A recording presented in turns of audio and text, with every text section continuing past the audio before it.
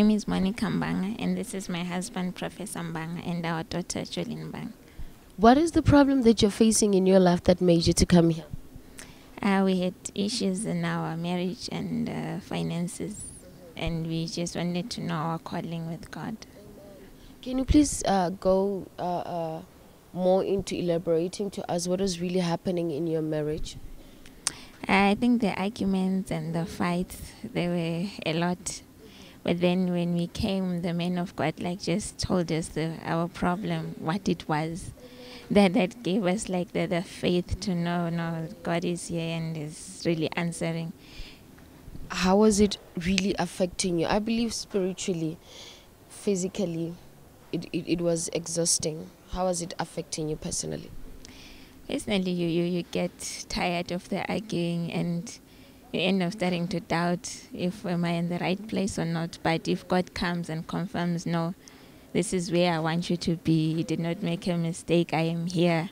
I you know I bless this marriage. I've always blessed it. So it's just like when the enemy just comes to attack. Sometimes we tend to take that and we put it in the human form instead of it being in the spiritual. Yep. And you saw the man of God on on one on one session. How was it? What did he say to you? Confirm the prophecy that he said.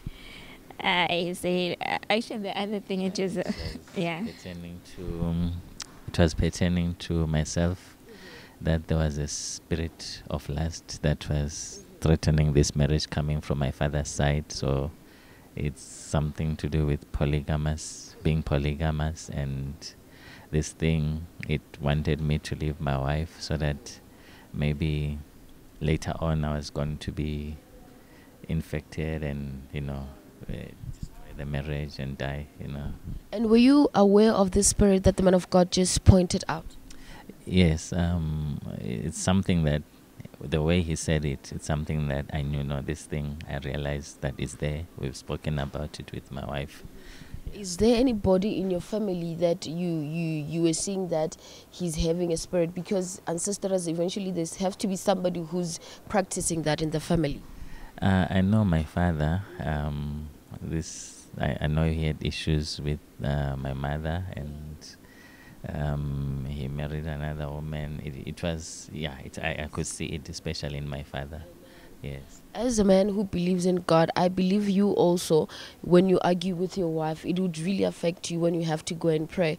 How was it affecting you spiritually and physically? Uh, it was affecting me because even when it comes, once we argue, and then naturally when there's time for prayer, your heart doesn't feel like, you don't feel like praying, you don't feel like doing anything. So it was actually affecting the prayer life.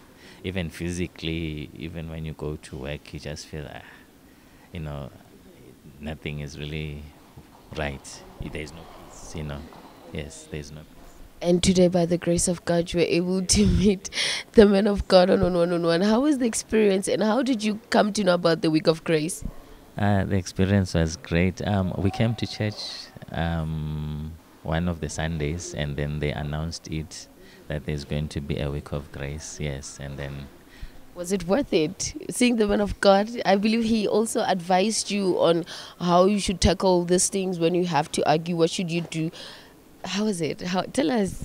yes, I, it was very worth it. I think with um, his call from God, he's able to advise us, give us godly advice on how to, which path we must take. Yes. From the moment you left the you were both smiling and i believe your marriage has been restored let's hear from you how are you feeling are you ready to to stand with your husband again or how are you feeling Yes, I- I'm happy because like one of the things that we prayed for before we came, we wanted to know where we stand, we wanted to know our future. So when we came, all of that was confirmed, even our future. So, so there, you know, you can't argue with God. You can. So yeah, we- we're truly blessed. We are. Yes. No, we're tr- truly blessed. Um, yeah, he told us things, I think personal things pertaining to what's coming in the future, what God has proposed for us. Yeah, I think it's it's a true blessing. Some of the things we had uh, written down before we came, Lord, this is what we want. So it was like a confirmation this is really so. There is no way. We never told anything to the man of God or anything, but he just confirmed what we wrote. So we we're truly blessed. At that particular moment when he was praying for you, how did you feel in your body?